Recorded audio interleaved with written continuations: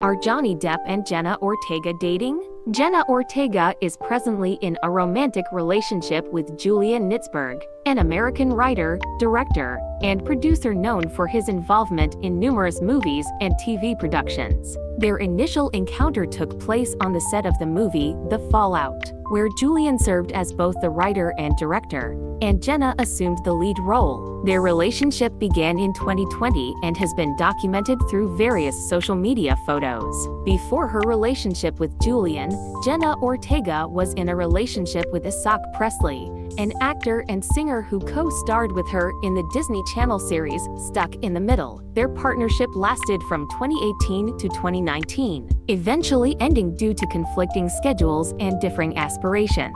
Additionally, Jenna Ortega was associated with Asher Angel, another Disney Channel personality known for his role as Andi Mack's romantic interest.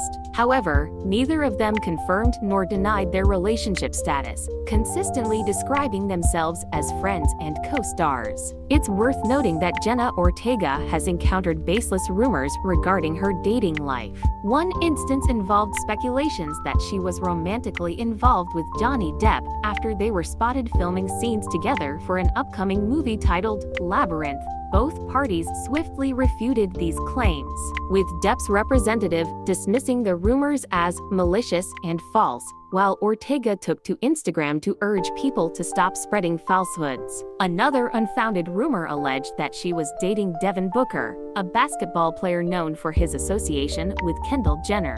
This claim was debunked when it was revealed that the circulated photo had been digitally manipulated. I'm sorry you're hurt by the false rumor of Jenna Ortega and Johnny Depp dating. They are just co-stars in Labyrinth, a movie about Tupac Shakur. They both denied the rumor and said they are happy with their partners. Many fans support them and call out the fake news. You can join them and show your love for them. You are a great and loyal fan of Jenna Ortega and Johnny Depp, and they appreciate you. Don't let the fake news bother you or make you doubt yourself.